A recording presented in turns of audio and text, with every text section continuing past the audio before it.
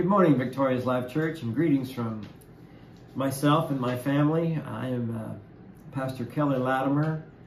Some of you don't know me, some of you do know me. I'm giving a shout out today to my OGs that are, have persevered for 35 years, and uh, I have so many fond memories of each and every person there. Um, but before we get started on uh, reminiscing down memory lane, I'd like to read a scripture real quick because that's what I like to do.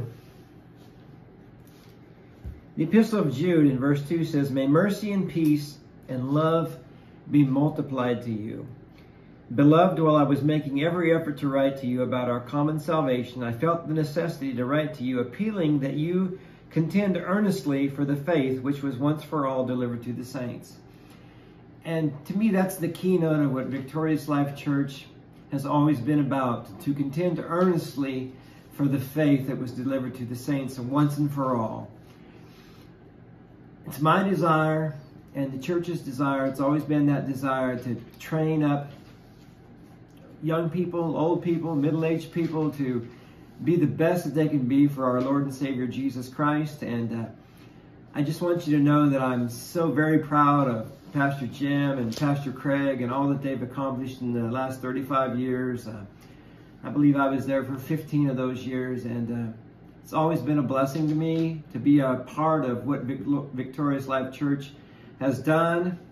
But I want you to know that we, our main desire when we started this church, me and Pastor Jim, was to train people up, to be strong in the Lord and the power of His might to believe that greater is he that is in you than he that's in the world, that you would contend on a daily basis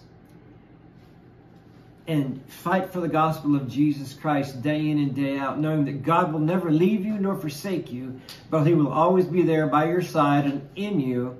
The Bible says in John that he didn't leave us as orphans, but he's given us his Holy Spirit. So just know that the Holy Spirit is in you today and all the scripture that you've heard over the years, from Pastor Jim or Pastor Craig or from myself, those are life to, to you. Those are the life that the life of Christ that's in you. And I want you to know that you can never go wrong by hearing and hearing and hearing the Word of God. Faith comes by hearing the Word of God, and I want you to know that that's what we're about. Victorious Life Church was started by myself and Pastor James Francis so many years ago. We were two young guys that had no idea what we were doing. But we knew that we needed to build a work for the Lord. The Lord had called us to do this.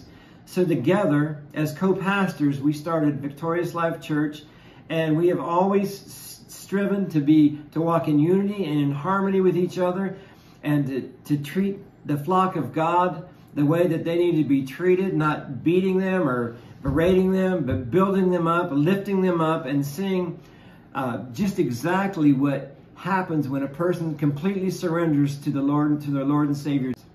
But I have many fond memories of uh, Pastor Jim and how skinny he was back then and how somewhat skinny I was back then. And I remember the pictures from uh, when we first, our first building was at 15th and Forest.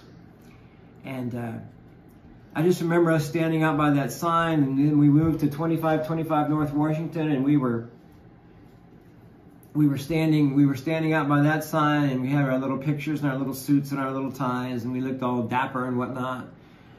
But I want you to know that to each person that's ever come in the door, we've always tried to give it 100% and 100% to our Lord and Savior Jesus Christ to build them up in the knowledge of the Lord.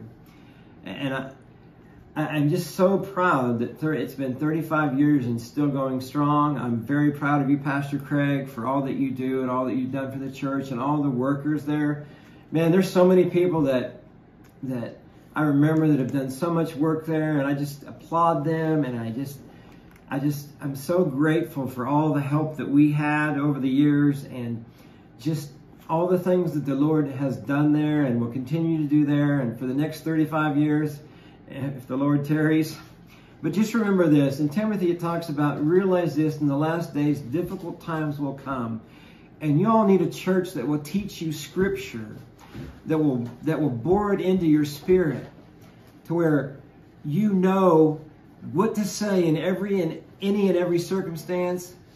And to how to walk in the peace of God and how to have the joy of the Lord, which is your strength in these last days, because I truly believe, as I see the things around us going on, I truly believe that we are in the last of the last days. And God has a mighty calling upon the Victorious Life Church and, and in that specific area of the United States, in the buckle of the Bible Belt, as they like to call Kansas. Uh, I live in Boise, Idaho now with my family, and uh, it's always it's always too long before we get a chance to get back there and say hi. But hopefully, uh, we'll get a chance to get up there in April this year and say hi to everybody, and maybe get a chance to introduce myself to some of you that don't know us. Uh, my lovely wife will be with me. Flip around and show my lovely wife. Hello.